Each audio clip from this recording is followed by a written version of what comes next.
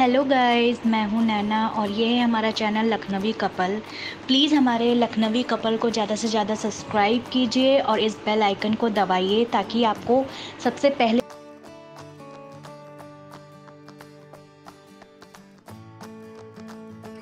hello friends welcome back to my channel आज मैं आपके लिए लेकर आई हूँ ये गर्मा गर्म मेथी के पराठे। जैसे कि आप सब जानते ही हैं विंटर आ गई है तो ये सब पराठे खाने में बहुत अच्छे लगते हैं, बहुत टेस्टी लगते हैं। तो चलिए, मैं बताती हूँ आपको इसकी रेसिपी की इंग्रेडिएंट्स के इसमें मैंने क्या क्या यूज़ किया है। तो यहाँ पे मैंने क्या क्या लिया है, मैं आपको दिखा देती हूँ। यहाँ मैंने हरी मिर्च ली है, सौफ ली है, और जिंजर और गार्लिक लिया है। कितना कितना लिया है आप देख सकते हैं। आप अपने टेस्ट के हिसाब से भी बड़ा घटा सकते हैं। यहाँ मैंने हल्दी ली है, धनिया लिया है, नमक लिया है। इसको भी हम तीनों को यूज़ करेंगे। तो सबसे पहले हम क्या करेंगे? सबसे पहले मैं एक छोटा जार ले लेती हूँ मिक्सर का। ये, उसमें मैं ये सब चीज़ों को जो प्लेट में रखी हैं, मिर्चा जिंजर गार्लिक और आपका सॉफ्ट पीस लूँगी। इसका हमें एक पेस्ट तैयार करना है, जो जाकि ये देखिए। और ये जो सौफ़ है, इसको हम आधा इसमें पेस्ट बनाने के लिए डाल देंगे और आधा ऐसे ही रोक लेंगे अलग से डालने के लिए। तो चलिए इसका पेस्ट तैयार कर लेते हैं एक। ये देखिए, मैंने बहुत थोड़ी सी रोक ली है।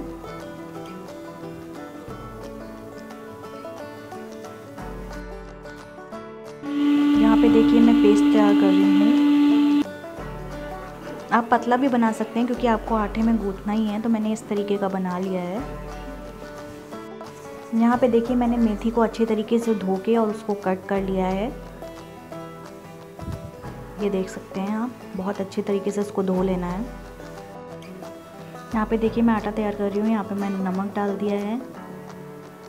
आटे में क्या क्या डालना देख लीजिए, नमक डाल दिया है, यहाँ पे मैं हल्दी डालूँगी।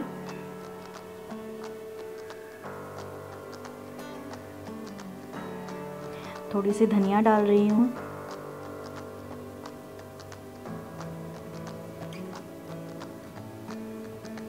ये जो मैंने सॉफ्ट बचाई थी वो डाल दे रही हूँ।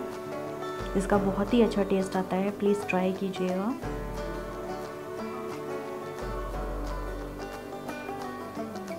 अब मैंने ये जो काटा हुआ था मेथी, वो पूरा इसमें डाल दूँगी अच्छे तरीके से। इसको अच्छे से धो लेना गाइस क्योंकि इसमें बहुत ज़्यादा मिट्टी होती है। अगर आप नहीं धोएँगे तो बहुत ज़्यादा अजीब टेस्ट आएगा। और यहाँ पर जो मैंने पेस्ट तैयार किया था, वो भी मैं इसमें डाल दे रही हूँ। अभी तक देख रहे हैं आप गाइस मैंने इसमें पानी नहीं यूज़ किया है। अभी सब मसाले, सब्ज़ी और आपके ये पेस्ट डाला है। पहले हम इसको ऐसे ही अच्छे से कर लेंगे। फिर हमें जितनी ज़रूरत होगी, पानी की, हम उतना उसको यूज़ करेंगे। तो अच्छे से हम इसको अच्छे से मिक्स कर लेंगे ताकि पूरा अच्छा फ्लेवर सब जगह मिक्स आउट हो जाए।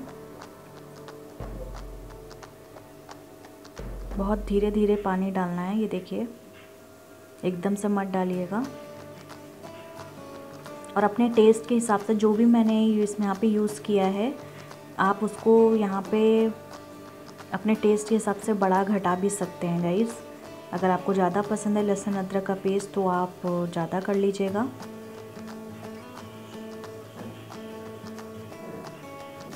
देखिए, हमारा आटा एकदम तैयार है। इस तरीके की कंसिस्टेंसी इसको रखनी है, ज़्यादा नहीं पतला होना चाहिए। ये देखिए, थोड़ी देर हम इसको रख देंगे, उसके बाद हम इसको बनाना शुरू करेंगे।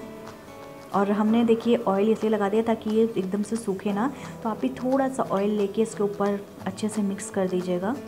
ताकि ये ड्राई ना हो और थोड़ी देर इसको छोड़ दीजिएगा। तो चलिए, अब पराठे बनाना स्टार्ट करते हैं। यहाँ देखिए मेरा आटा एकदम तैयार है। तवा मैंने रख दिया है गर्म होने के लिए। ये देखिए। तो चलिए, अब स्टार्ट करते हैं बनाना। और इस वीडियो को प्लीज़ लाइक कर दीजिएगा। अगर आप मेरे चैनल पर नए हैं तो सब्सक्राइब करना बिल्कुल मत भूलिएगा।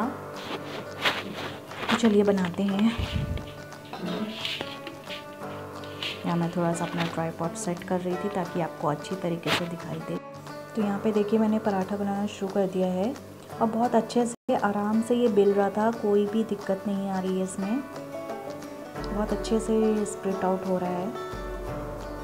चलिए जल्दी जल्दी बना लेते हैं। तो गाइज़ अगर आप चाहें तो इसकी पूड़ी भी यूज़ कर सकते हैं। अगर आप चाहो पराठा नहीं बनाना चाहते हो तो आप इसको एज आ पूड़ी भी बना सकते हो। तो चलिए मैं जल्दी जल्दी पराठे बना लेती हूँ। उसके बाद आपको दिखाती हूँ कि किस तरीके से हमारे पराठे देखने में लग रहे थे।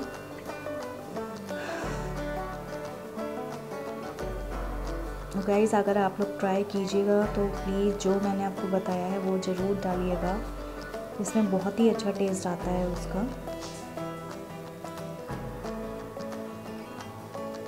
आप देखिएगा, कितना सुंदर, एकदम बढ़िया बन के आएगा। दिखाती हूँ आपको।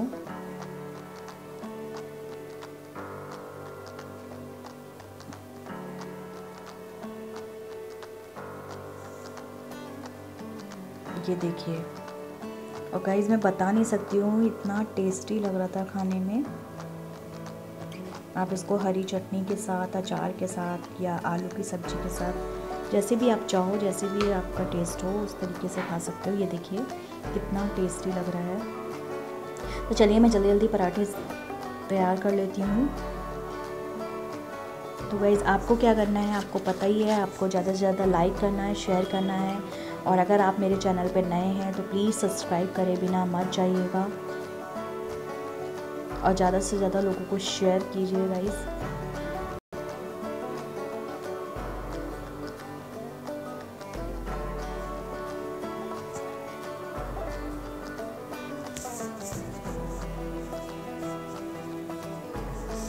अगर आप लोग चाहते हैं किसी भी तरीके की, या कि मैं आपके लिए कोई रेसिपी लेकर आऊँ, या किसी भी तरीके की कोई वीडियो लेकर आऊँ तो आप मेरे को कमेंट कर सकते हैं और वहाँ पे बता सकते हैं कि मैं आपके लिए कौन सी वीडियो लेकर आऊँ। चाहे वो किसी भी तरीके की रेमेडी हो, चाहे वो किसी भी तरीके का कोई भी रेसिपी हो, आप बता सकते हो। तो मैं आपके लिए वो वीडियो बना दूँगी।